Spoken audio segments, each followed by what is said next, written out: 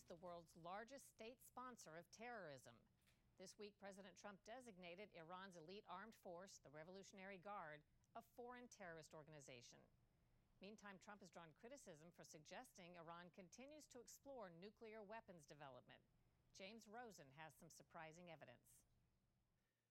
In 2015, the Obama administration and five other world powers struck the controversial nuclear deal with Iran. The agreement restricted Iran's sensitive nuclear activities. Because of this deal, inspectors will also be able to access any suspicious location. As part of the deal, the Obama administration returned tens of billions of dollars in frozen funds to Iran, a move criticized in many quarters since Iran remains the world's largest state sponsor of terrorism. Last year, the Trump administration withdrew the U.S. from the agreement. In January, CIA Director Gina Haspel told Congress Iran is nonetheless still living up to its part of the bargain. Since our departure from the deal, they have abided by the terms. So at the moment, technically, they're in compliance. But before dawn, the morning after Haspel testified, President Trump tweeted the opposite. The intelligence people seem to be extremely passive and naive when it comes to the dangers of Iran. They are wrong. And in a TV interview, the president singled out the CIA director's assessment. I should say your intel chiefs do say Iran's abiding by that nuclear deal. I know you think it's a bad deal. I disagree deal, with them.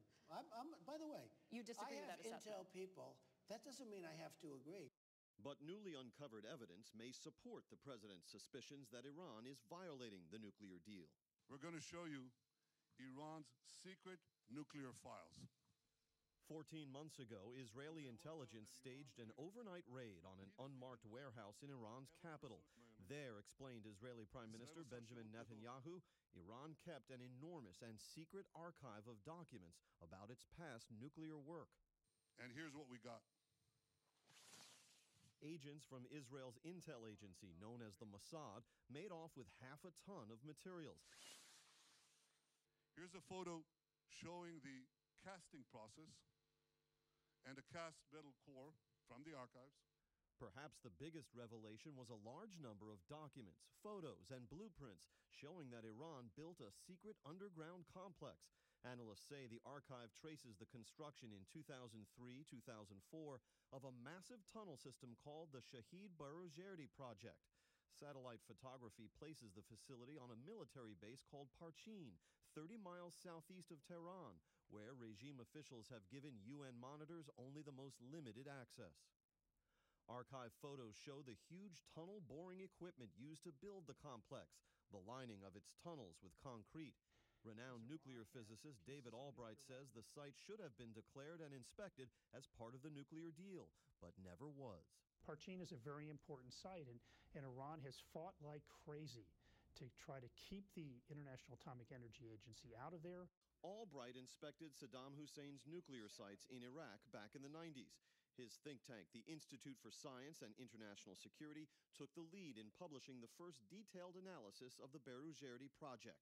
A case could be made that indeed Iran is not presently complying with the terms of the nuclear deal, correct? Correct. And so when President Trump says that he disagrees with his intelligence chiefs about whether the Iranians are complying with the nuclear deal, in your view, as a learned scientist on this subject, there's actually some ground to agree with President Trump. There is. When the head of the CIA says they're technically in compliance with, with the nuclear deal, I mean, what does that mean? I mean, does that mean in the details they're in compliance, but in the big picture they're not? We think they may be working on nuclear weapons um, and making progress. At the time that the Obama administration and the other Western powers finalized the Iran nuclear deal, did the United States know about the Barujerdi project? No, Did the International Atomic Energy Agency know about the Barujerdi project? no, Did the Israelis know about the Barujerdi project? no. And to your knowledge, IAEA has taken no steps to go inspect this site. Not as, none that I know of. Olli Heinonen is the former Deputy Director General, the number two official at the International Atomic Energy Agency.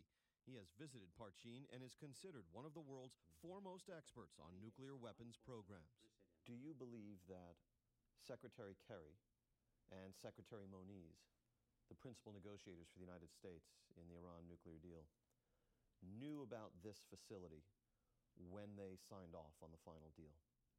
If they knew about it, they had to have a very good explanation why these installations were not exposed and dismantled. Other world powers who finalized the nuclear agreement Germany, France, Britain, China, Russia, and the European Union have stayed in the deal, resisting U.S. pressure to abandon it. Opponents of President Trump's decision to withdraw from the nuclear deal argued it would alienate those allies who helped negotiate the accord and undercut the deal's major accomplishment. Among those critics, Democratic Congressman Peter Welch of Vermont. It did address one. It required Iran to cease and desist from active development of nuclear weapons. That is a huge strategic achievement. What difference does it make for the U.S. or any other country to stay in the deal or pull out of the deal? Well, it boils down to business opportunities, Sharyl. The Europeans, the Chinese, and the Russians all can continue to do big business with the Iranian regime if they stay in the deal. Do you think the discovery of the new site is going to make any difference? That depends on what's done about it. Uh, sources tell me that the Trump administration is pressuring the UN to demand access to this site so far without any success. Analysts believe that this site does have some active military purpose, so when restrictions on Iran's nuclear program start to be lifted over the next decade, uh, that could help them reach a nuclear bomb faster than we thought. Very interesting. Great to have you here, by the way. Great to be with you. Thank you. Stay with us on Full Measure. A new poll shows where U.S. leadership is popular and where we're not.